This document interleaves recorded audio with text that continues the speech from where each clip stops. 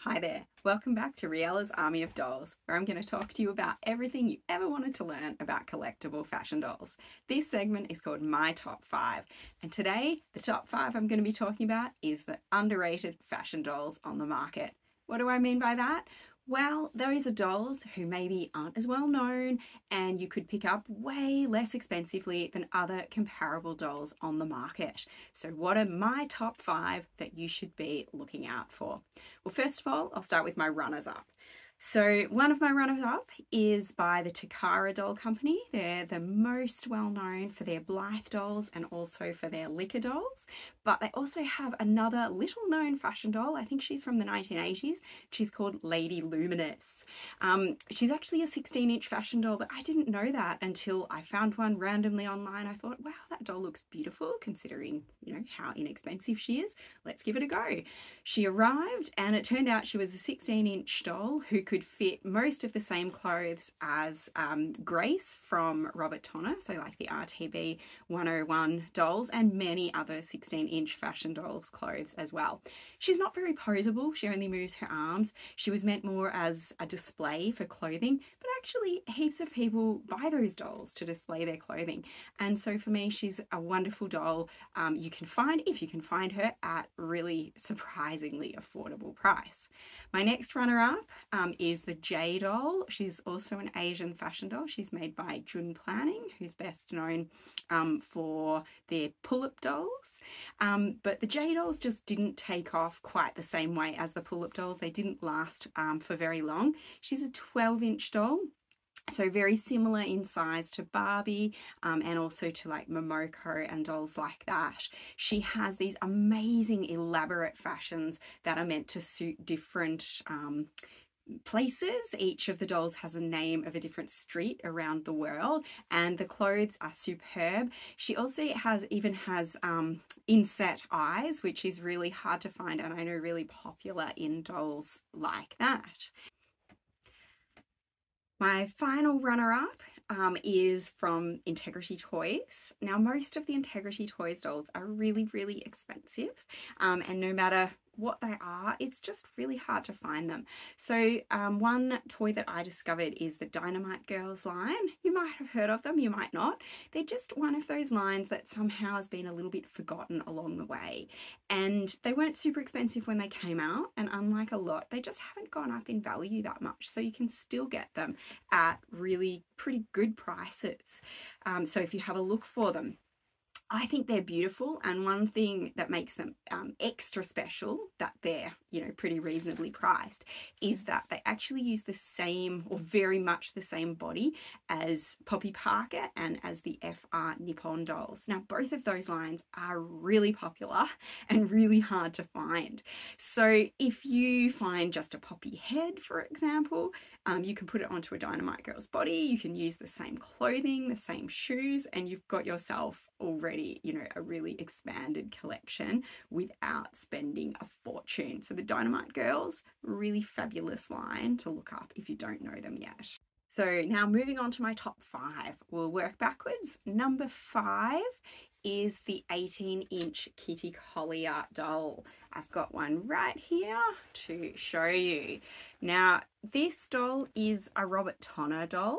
Um, but for some reason, the Kitty Collier, especially the 18 inch one, so the mini, the tiny Kitty Colliers are really popular and really, really well known. But for some reason, the 18 inch dolls just haven't really grabbed um, the collector market as much as so many of the other dolls. I think that's really surprising considering you can see what a beautiful face she has. You can also see that she has this incredibly elaborate fashion and most of the dolls are like this. She's got sumptuous beading on her gown.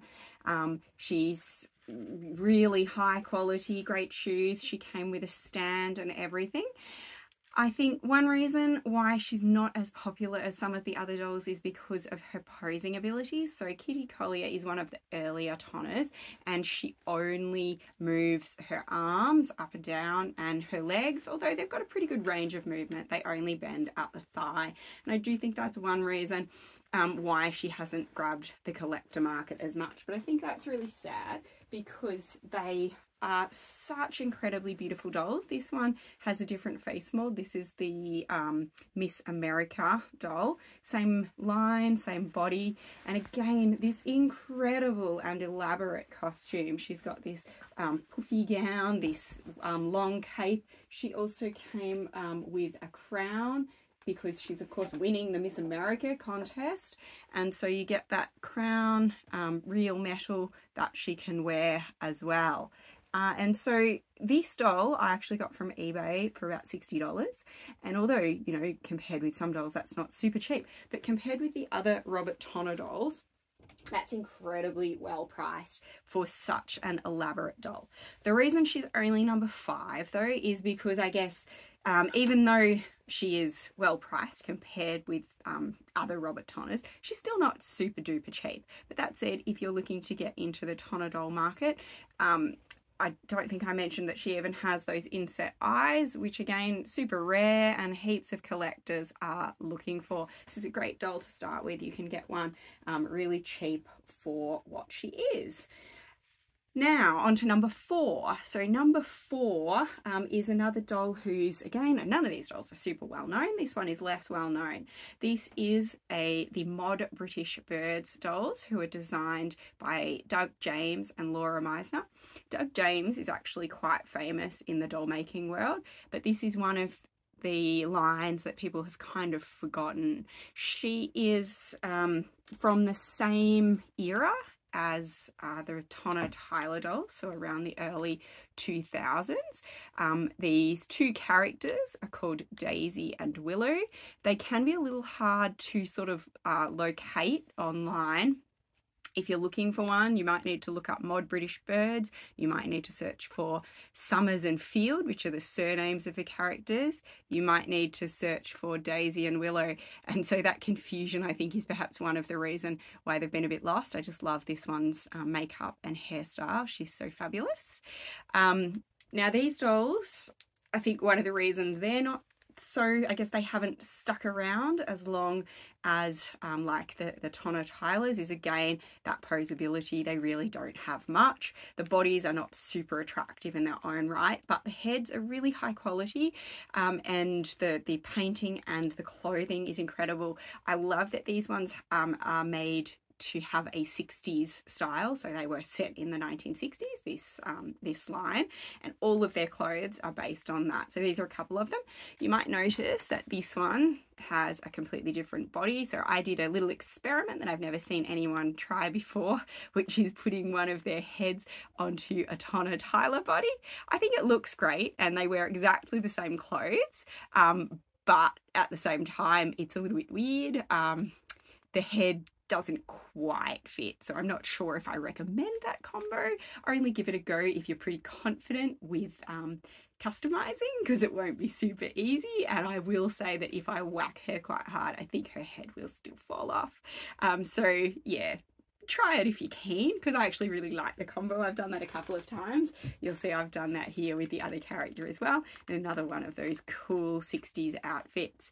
Even if you don't love the doll, just for the outfits, um, to give a bit more costume to your other 16 inch dolls. Super fantastic deals. You can get these dolls um, for, well, it really varies because of course they're secondhand and so it's what people are selling them for. But I've purchased these dolls for anywhere between 25 and $60 depending on you know which model and how rare they are. Um, but usually I guess average around 30 to 40 dollars. Clothing you can get as little as 20 dollars for a whole outfit with boots. Um, and, and one thing I would say is just be a bit wary of the faux leather if you're buying these. Um, older faux leather has a pretty bad reputation anyway, but I'd say these are some of the worst um, faux leathers I've ever seen. You can see how they're peeling. They become quite sticky to the touch as well. I'm planning to repaint these boots at some point. It doesn't really bother me. I think they're cute anyway.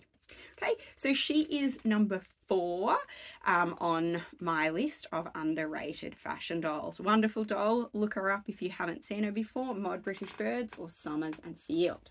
Moving on, number three is uh, my first 12 inch fashion doll in this um, series. This is you might have heard of this doll. She's perhaps the best known of the dolls I'm going to be talking about today. See if I can get her in focus because her face is a bit smaller. There she is. Um, this is Jenny by the Takara Company. Uh, so again, I mentioned them before, best known for Blythe and Licca. Jenny is really goes well with Licca if you have one. She's like her older sister. Um, she is 11 inches tall, whereas Licca is about eight.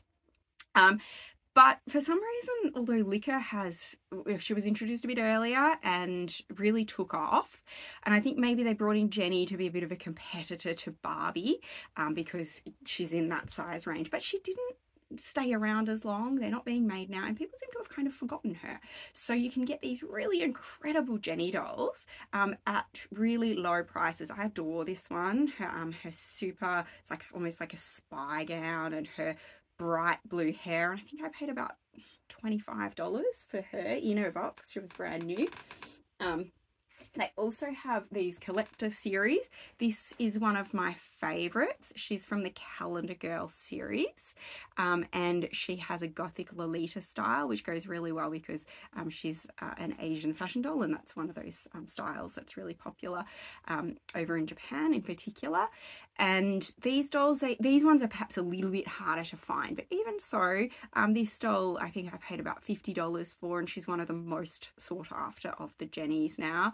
Um, she has these cool rocking horse platform shoes as well and she also has an umbrella um, that opens. Um, and so these are fantastic dolls, really great value and uh, there are a lot of them out there too unlike some of the other ones I'm talking about at the moment. Um, these ones are pretty easy to find. You may struggle if you want a very specific doll um, that can be a bit harder this one here um, just trying to get her into focus. There she is.